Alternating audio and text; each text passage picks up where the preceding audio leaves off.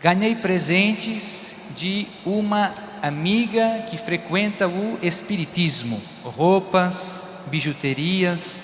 Tem algum problema nesse, em manter esses itens comigo? Devo livrar-me deles?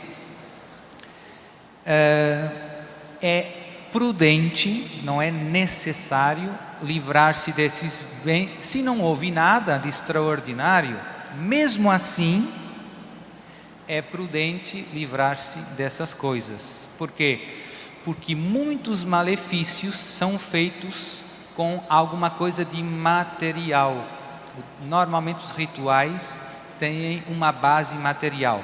Pode ser animais, eh, mais típicos galinha, sapo, serpente, pode ser terra, terra de cemitério, podem ser roupas, objetos de uso pessoal, pode ser comida, bebida, tudo isso se usa para fazer os malefícios, os rituais com a intenção de pedir ajuda ao demônio para fazer mal a alguém. Então, quando você recebe essas coisas, esses presentes, são presentes envenenados, envenenados.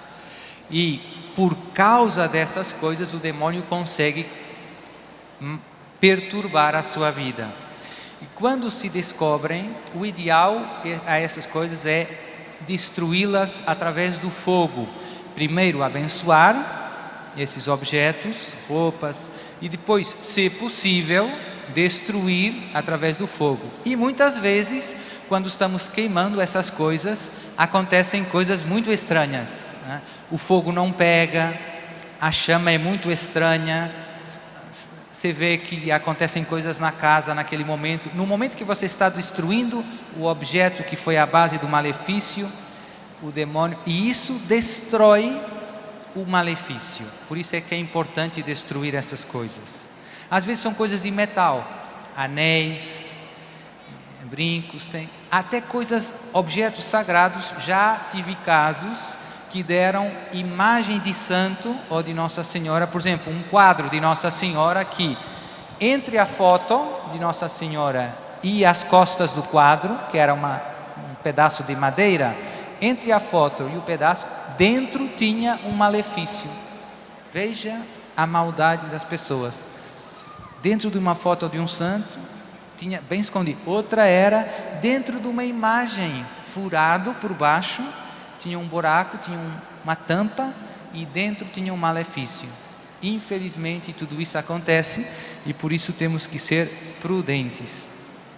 Depois tem pessoas que vão fazer viagens e compram coisas em mercados que são coisas que tiveram em alguns rituais, às vezes máscaras, coisas que a gente pensa, ah, mas isso é só para decorar, não tem.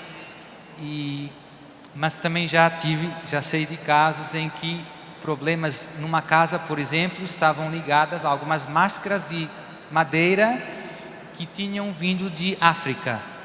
Em África também eles fazem muitos rituais. Eram e a pessoa comprou as máscaras porque eram bonitas, só para pôr lá na parede. Mas uma vez uma jovem num evento desses foi com um, um padre amigo meu começamos rezando, como aqui teve muitas manifestações. Né? E o problema dela era um, um, fio com uma pedra, tinha uma pedra no pescoço, é, coisa bonita, parecia um cristal, todo bonito, está na moda, todo mundo usa. Então, essa, essa, esse, esse cristal era a causa do, do malefício. Então, demorou um pouco para o padre perceber qual era a causa, mas pegou, destruiu, e tudo na paz. Uma vez foi uma jovem que tinha um anel, que tinha todas umas inscrições escritas. Hum? Então, temos que ter cuidado com essas coisas.